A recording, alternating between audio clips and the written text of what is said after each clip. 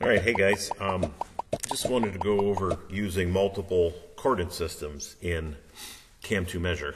Um, so right now I got a plane line, a, sorry, a plane, a circle, and a circle. So I'm going to create a coordinate system here, and we're going to use our plane one, obviously. Um, actually, I'm going to click Advance. So my line is actually going to be between two circles, and I want to use plane one. And my origin is going to be the center circle one.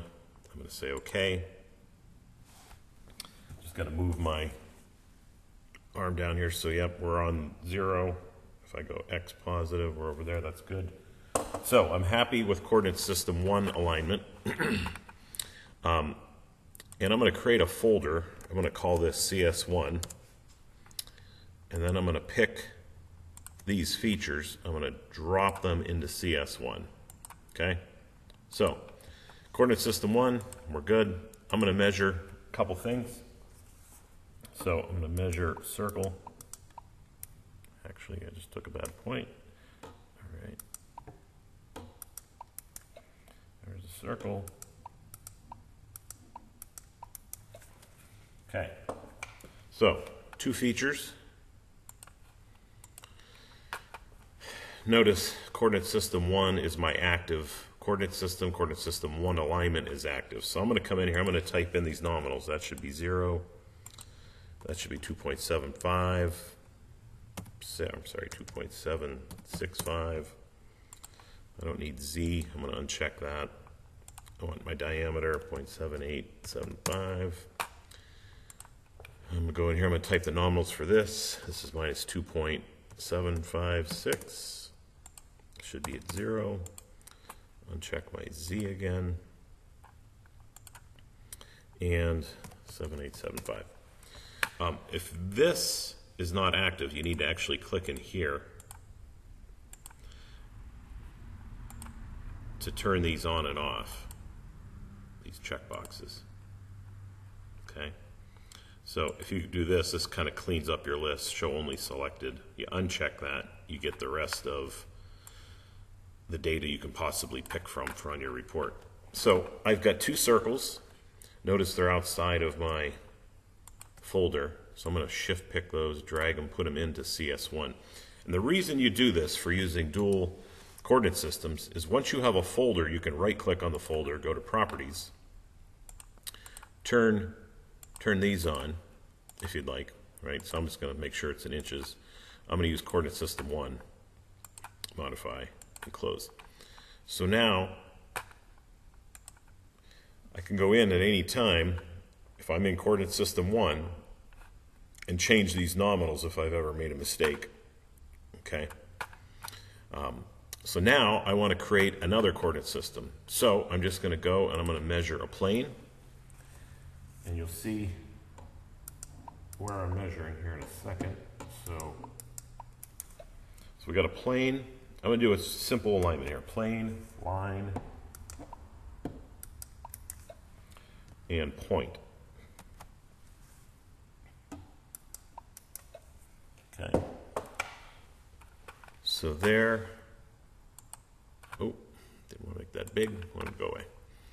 All right, so now let's say I want to report out some dimensions on this side. okay, what you need to do is come into here and you need to have your nominal data as well as IJK. So, point on plane minus 2 point, or I'm sorry, minus 5.9047 minus 0.0374 minus 0.4194 and the IJK, once you just click in this box, this pops up, just say OK, it automatically populates that. So, do the same thing with my line. I need my axis, IJK, and I need my midpoint, XYZ. So again, type in those nominals. If we have CAD, we obviously don't have to do this. I see I made a mistake on that.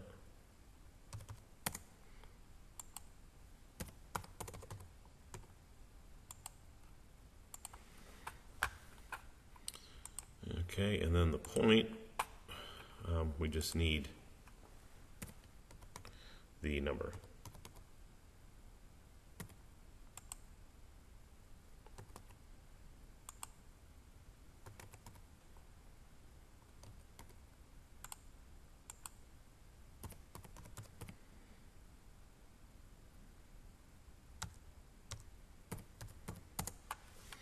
Okay, so now that the nominals are typed in for those items that you measured while coordinate system one is active, you can create another alignment.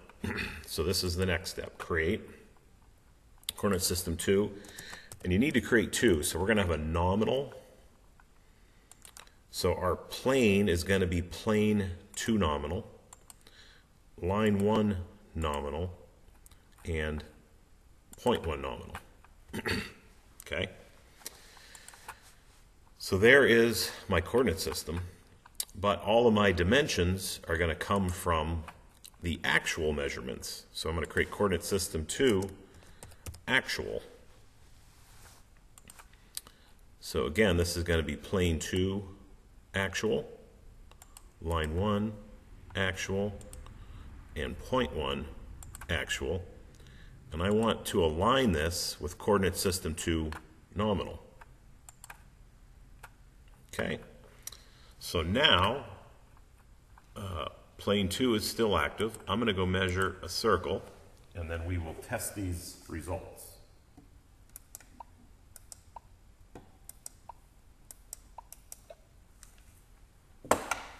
So, here is my circle.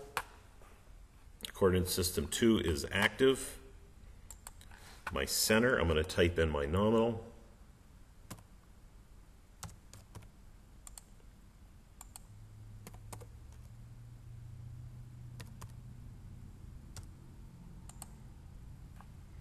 I don't want Z.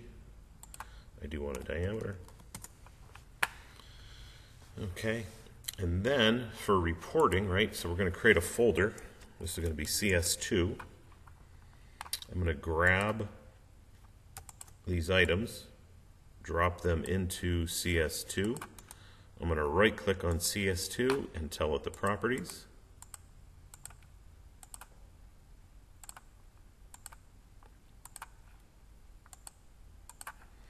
So, circle 5 shows my correct so if I pick,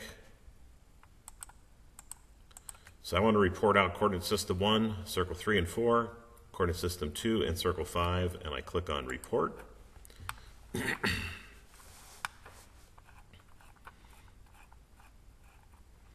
I now get coordinate system one with my correct actual nominals, coordinate system two now, correct actual nominals. So, hope this helps uh, with dual coordinate systems.